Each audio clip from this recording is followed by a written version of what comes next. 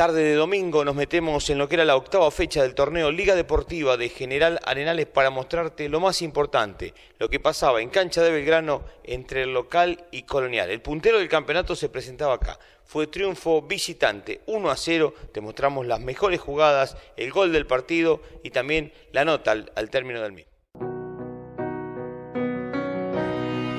Estamos llenos de historias, que no perdonan y que pierden la razón. Al pasar se escucha un grito que viene por el pasillo y grita, no te vayas hoy.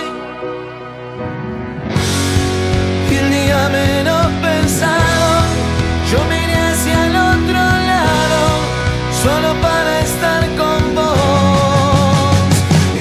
escuchar en tu voz.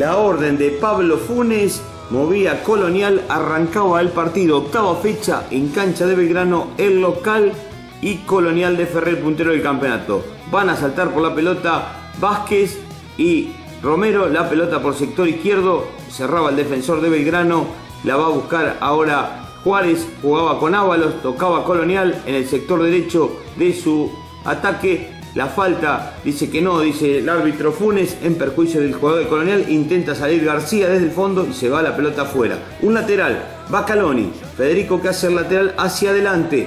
El que la va a bajar es Lady, la tiene el marcador central del Colonial de Ferré, Lady. Ahí está el central que sale jugando Nazareno, el cabezazo de Bellón. Duda Ahí el número 2 era Lacoste, la pelota queda corta, Vázquez el remate y se va cerca del arco de Caruso. Primera aproximación para el puntero del campeonato. La pelota pasó cerquita del arco de Andrés Caruso.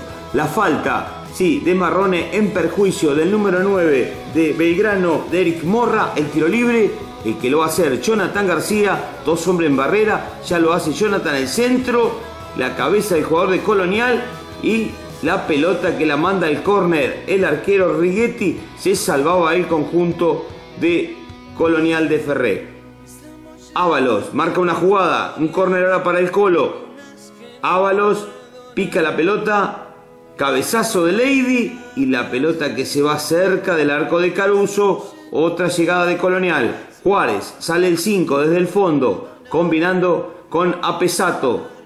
Lucha y la gana la pelota García, Jonathan que escala, levanta la cabeza, vio el arco, remata Jonathan García y pasa cerquita del arco de Righetti. Los dos estaban en situaciones equilibradas el partido en el arranque. Marrone que sale de atrás con un lateral, Bellón que la baja, la pelota le queda para Preciado, va Preciado jugando hacia el sector derecho para Zarza, el rojense, el centro de Zarza, el cabezazo de Preciado y la seguridad de Caruso parecía más prolijo colonial, llegaba con más facilidad. Belgrano tenía lo suyo como este remate de Jonathan García y la contención de Righetti. Todo igualado hasta aquí en el primer tiempo entre Colonial y Belgrano, Belgrano y Colonial. Juárez que intenta salir, la quería robar Ramiro, la falta de Juárez y el tiro libre. Jonathan García, el centro, el cabezazo, el que despejaba era el jugador de Colonial, Lady, la pelota que se va afuera los colegas trabajando en cancha de Belgrano, a Pesato de buen andar en el sector medio, levanta la cabeza el número 8, el pelotazo por sector derecho para Ábalos, sale Caruso con los puños, le queda la pelota a Ábalos, levanta la cabeza, viene el centro, ¿Cómo puede Bacalón y resta? Le queda Pesato, le va a pegar, no puede, ahora sí, remata y se va por arriba del travesaño. Otra situación está para Colonial de Ferré sobre el arco de Caruso. Zarza a Pesato, ya la tiene Lucas, viene Lucas a Pesato, cambia para el sector izquierdo para la proyección de Juan Cruz Marrone. La tiene el 3, la habilitación para Preciado, la pared corta, luchaban con el marcador central de Belgrano con el número 2 Lacoste y la pelota otra vez en poder de Marrone. Ábalos Marrone toca corto Colonial, busca asegurar la pelota. Zarza desde atrás con Acosta, con Juárez. La proyección para Zarza, va Zarza, va entre dos. La habilitación para Apreciado, el centro. Y gran tapada en esta de Romero para salvar a Belgrano, el marcador central que salvaba, acá el que se salvaba era Colonial, la pelota sobre el área y en esta no puede Chegaray, el remate, el arquero que devuelve, le pegó mordido Echegaray, la posibilidad más clarita la había tenido ahí Belgrano. Y ahora Ábalos el remate, el arquero. Y buena salvada del golero Caruso para impedir que el arco esté en ventaja del equipo visitante. Así termina el primer tiempo 0 a 0. Ya mueve Morro, comienza el segundo tiempo, el partido estaba 0 a 0 entre el local Belgrano y Colonial de Ferré, pero con situaciones en ambos arcos. Apesato, jugando para Marrone. Otra vez con Apesato, la pelota hacia adentro para Preciado, la tiene Rosendo, no puede con Jonathan García, gana por su sector la falta del jugador de Colonial. Y el partido que ahora continúa con un ataque del Colo, es otra jugada. Viene Apesato, Viene el centro de Lucas, la pelota que se va al córner. El córner para la visita ya lo hace Ábalos, el centro sobre el área. Despeja el jugador del grano, el remate de Rosendo Preciado que se va sobre el travesaño del arco que defendía Caruso. La pelota en ataque para el conjunto de Belgrano. Juárez que quiere interceptar, interceptar perdón. la pelota lo buscaban a Sequeira. No podía el jugador de Colonial. La falta acá en perjuicio de Barrera y el tiro libre para el conjunto de Marcelo Forzano. Frente a la pelota Echegaray y García. Un derecho y un zurdo. Va García, el remate pasa cerca del arco de Righetti. Otra posibilidad para el conjunto albiazul. Ahora la pelota en el sector medio. Juárez que lucha, la pierde, la gana Echegaray, la tiene Juan. Juega de primera con García, el centro para Sequeira, el centro sobre el área y despeja Lady para salvar a Colonial. El mejor momento de Belgrano en el partido. Bustos que pasó al ataque. La falta está diciendo el árbitro. Y el tiro libre para el equipo de Belgrano. García que lo hace, viene sobre el área. Despeja el defensor de Colonial. La pelota la tiene Chegaray. El remate. Y se va. Se va ahí sobre el arco que defendía Righetti. Ahora intenta el Colo. Interesante segundo tiempo entre Belgrano y Colonial. Quiere Sequeira, lucha con Acosta, se cae, la va a buscar Morro, lucha con Acosta, sigue el jugador de Belgrano con la imposición de la pelota, el remate y se salva Colonial, una gran llegada del conjunto belgranense. El partido seguía 0 a 0 y la situación acá la tuvo el número 9, Morro para el conjunto de Belgrano. Ahora el que le pega es Righetti desde el fondo. Righetti el pelotazo buscándolo a Bellón. Gana de arriba a Bellón. La va a buscar Preciado. Devuelve defensor de Belgrano. La tiene Ábalos. Pared corta de Ábalos. Con Rosendo Preciado. Alarga para el sector derecho para que vaya Vázquez.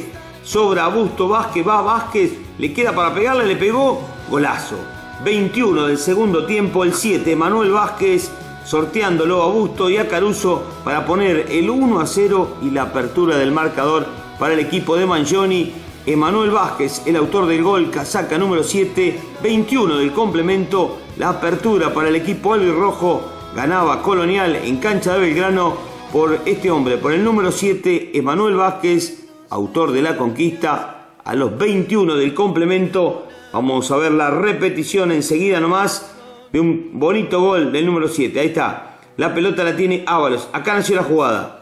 Lo buscó Preciado. Preciado ya lo vio y con la segunda jugada levanta la pelota y Vázquez que no la va a dejar picar después saca un remate que lo vence a Caruso y pone el partido 1 a 0 en 21 del segundo tiempo. El albirrojo ganaba en nuestra ciudad y era más puntero que nunca el equipo de Colonial por intermedio de Manuel Vázquez, casaca número 7, autor de la conquista. El partido entonces 1 a 0, se quebraba el 0 a 0 en cancha de Belgrano. Los festejos, los saludos, no era para menos. Tremendo partido en nuestra ciudad. Estaba ganando Colonial sobre Belgrano. Un Belgrano que va a sentir el impacto de este gol. Pero igual va a salir a buscar y Colonial va a tener más posibilidades como esta que se va cerca del arco de Andrés Caruso. Otro centro que viene pasado, no puede Bellón, el que sí puede Lacoste, le, le queda la pelota para Vázquez, el centro de Vázquez, Lacoste para salvar, López que ya estaba en el campo también, otra habilitación, buen trabajo de Vázquez, una de las figuras de la cancha, el número 7 Manuel Vázquez, el centro sobre el área y en esta Caruso, el rebote, el árbitro que dice siga, la jugada le quedaba para el número 11, para Preciado. Viene el centro de Preciado sobre el área. El cabezazo de Ábalos que se va afuera. Seguimos en el segundo tiempo. Un duro partido entre Colonial y Belgrano. El albirrojo intentaba asegurar el marcador. Va Preciado por el sector izquierdo. La coste que lo marca. Preciado, el centro no puede conectar Bellón, le queda la pelota nuevamente, lo marca Romero y lo cierra bien el marcador central. La pelota queda bollando para que a Pesato remate y gran tapada de Andrés Caruso, una de las figuras del equipo belgranense en la defensa. El arquero Caruso de muy buena tarde tapaba una pelota dificilísima. Otra llegada de Colonial. Preciado a Pesato, a Pesato se la deja para Bellón y Caruso realmente para tapar e impedir el segundo tanto del partido colonial empezaba a marcar la diferencia era mayor entre colonial y belgrano estaba justificando el triunfo. Otra vez Vázquez intenta Acosta remata Caruso nuevamente una muralla el arquero de Belgrano para impedir que Colonial aumentase el resultado. Otro intento López que va la tiene López, juega corta con Ramiro. Otra vez la pelota para el jugador de Belgrano, Sequeira. Acosta, Sequeira que pide la falta. Acosta que va con la pelota. Protesta Sequeira. López le muestra la segunda amarilla. Ya tenía amarilla y se va expulsado Sebastián Sequeira. Estaba perdiendo, estaba nervioso el conjunto de Belgrano, en este caso Sebastián Sequeira, que protestaba, pierde un jugador importantísimo, el equipo Azul, no por este partido, sino para lo que viene, y el reclamo de Seba, se va expulsado el número 11, este delantero importante que tiene el equipo de Marcelo Forzano. El partido continúa 1 a 0, un Belgrano que sale a buscar y le va a quedar más espacio para Colonial en la réplica. Y en esta le queda para García, buena de Jonathan el remate y tapaba el jugador de Colonial el intento de Belgrano. Estamos llegando a la parte final del partido. El córner para el conjunto albiazul viene sobre el área. Nadie para conectar. Otro vez el cabezazo. Acosta para salvar cuando el árbitro estaba marcando la posición adelantada. Intenta Belgrano como puede tener la posibilidad de empatar. La falta de Morra en perjuicio de Acosta. El tiro libre no quedaba mucho más. Estaba ganando la visita 1 a 0. Pablo Funes está marcando la falta. Tranquilidad le pide. El partido no le queda mucho. Octava fecha del torneo Liga Deportiva de General Arenales. Zarza que va a sacar desde el fondo. Se lo deja al marcador central Acosta. No quedaba tiempo casi para terminar el partido en nuestra ciudad. La pelota viene larga y el árbitro marca al final. Ganó Colonial a Belgrano 1 a 0 y es el puntero del campeonato. Sacando la cabeza para todo lo que se viene. Se nos viene un partido lindo contra el 12. Y bueno, ojalá que sea el puntapié para todo lo que viene. Bueno, un Colonial que se escapa en la punta, ganó Colonial, estaba perdiendo Arenales, perdió 12 de octubre ya. O sea que bueno, un, campeonato que se empieza a afianzar para el Colonial, donde realmente, como dijiste, lo físico se muestra y ve que hoy Colonial lo desgastó al rival. Sí, bueno, los resultados mucho no lo sabía, pero bueno, mejor si es así, pero para dejarnos más tranquilos y trabajar tranquilo una semana para todo lo que viene, que va a ser lindo. ¿A quién se lo dedica? Eh? Nada, creo que a todos mis compañeros que siempre me da confianza y bueno, Nico, que siempre me apoya en todo lo que vengo haciendo y bueno, al grupo, lo que somos, estamos unidos y se tiene que empezar a notar. Gracias. No, gracias a ustedes. Suerte.